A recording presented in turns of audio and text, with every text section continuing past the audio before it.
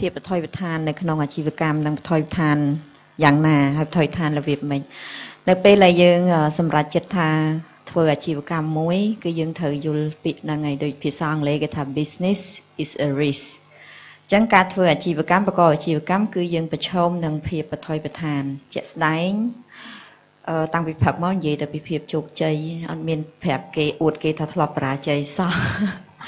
ចាជាក់ស្ដែងដូចខ្ញុំផ្ទាល់អញ្ចឹងគឺធ្លាប់បានថាបិទហាងពីរដងហ្នឹងចាហើយក៏លក់ business ដូចជាម្ដងពីរដងដែរចាគឺអឺពី5ឆ្នាំមុននោះ ចាំ7ឆ្នាំមុនខ្ញុំធ្លាប់មានរេស្តូរ៉ង់មួយចារេស្តូរ៉ង់បតេចាអញ្ចឹងគឺ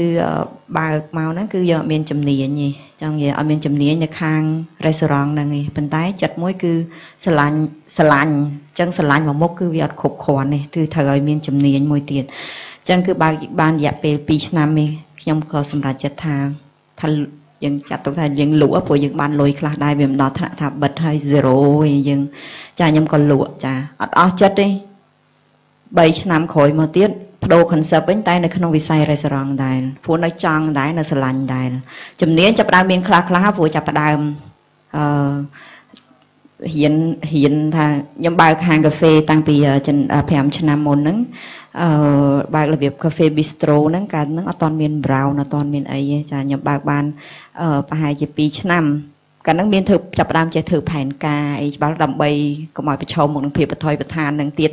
ដោយសារតែយើងអត់បានគិតគូរច្បាស់លាស់នោះបានគិតគូរច្បាស់លាស់ហើយមានផែនការច្បាស់លាស់ទៀតហើយនឹងពង្រីកថាទៅបែបម៉េចទៀតហើយនឹងពេលធ្វើផែនការឃើញលុយចំណេញទៀត ចាចំណេញ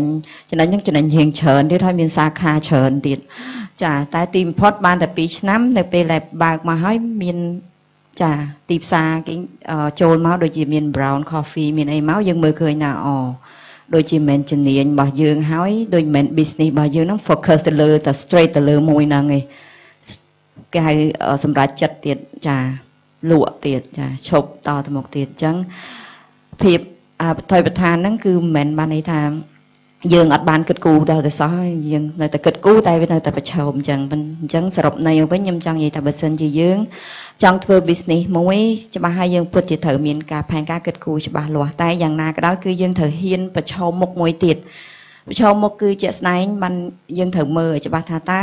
យើងគួរតែដើរទៅមុខទៀតដោយសុខចិត្តអឺ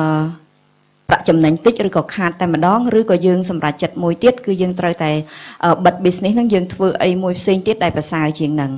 ចាចានេះគឺអ្វីដែលភាពជាក់ស្ដែងនៃការបថុយបឋានហើយភាពថុយបឋានដែលយើងអាច overcome មកវិញគឺយើងត្រូវតែហ៊ានប្រឈមមុខសម្រេច